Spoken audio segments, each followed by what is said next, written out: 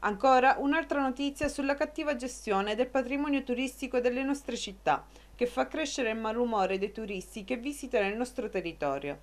Questa volta ad essere sotto accusa è la città di Ragusa. La denuncia arriva dal laboratorio 2.0 che inizia a preoccuparsi dei turisti che decidono di visitare la città.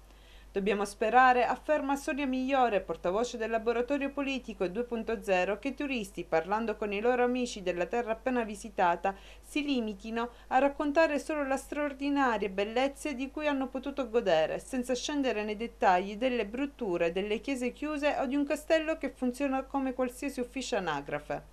Ed è proprio sul castello di Donna Fugata che cresce il malumore, in quanto non basta il cambio degli orari. Infatti la consigliera migliore continua chiedendo all'amministrazione perché non si è pensato ad un progetto per la gestione del castello, mantenendo la logistica superiore in capo al comune stesso, ma avvalendosi del servizio civile nazionale. Oppure potrebbe spingere per la nascita di un consorzio di cooperative giovanili che si occupi della gestione, della custodia e delle guide turistiche, anche in collaborazione con la Facoltà di Lingue dell'Università di Catania. In questo modo il Laboratorio 2.0 propone di tenere aperto il castello fino a mezzanotte, utilizzando anche parte delle royalties, trattandosi di sviluppo economico e occupazionale ed essendo anche la vera necessità del luogo, poiché principale fonte di lamentele da parte dei fruitori.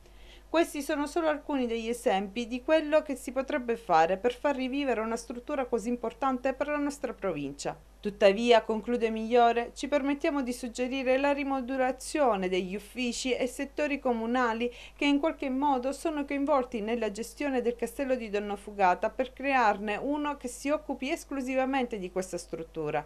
Sarebbe un primo passo e aiuterebbe molto per la programmazione e la gestione del castello stesso.